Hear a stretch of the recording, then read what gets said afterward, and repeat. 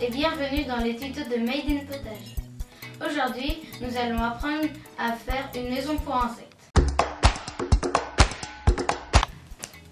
Pour réaliser ce tuto, il vous faut une caisse en bois, des planches préalablement découpées, des pommes de pin, de la paille, un pot en terre cuite, des feuilles mortes, de la ficelle, de la colle, du bambou, du grillage et un sécateur.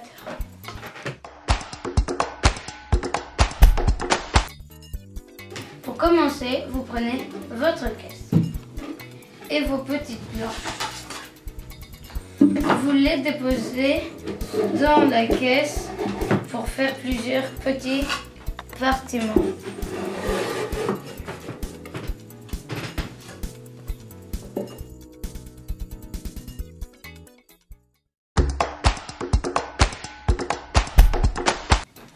La deuxième étape, vous prenez vos bambous, vous les déposez dans le coin et vous demandez à un ninja de prendre son katana et de découper jusqu'au bord de la caisse.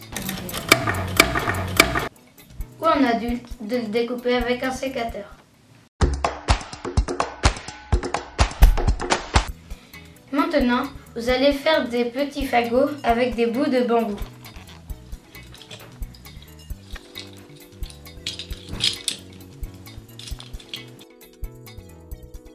Avec de la paille aussi.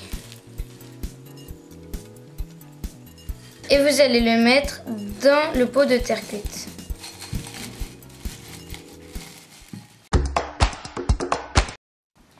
Maintenant, nous allons remplir les compartiments de notre caisse.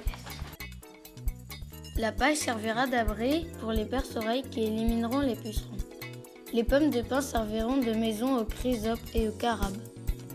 Les feuilles mortes accueilleront papillons et coccinelles. Enfin, les fagots de bambou permettront aux abeilles solitaires de s'y réfugier. Nous allons faire la dernière étape qui est de recouvrir la maison à insectes de grillage, comme cela. Et voilà, votre maison pour insectes est terminée.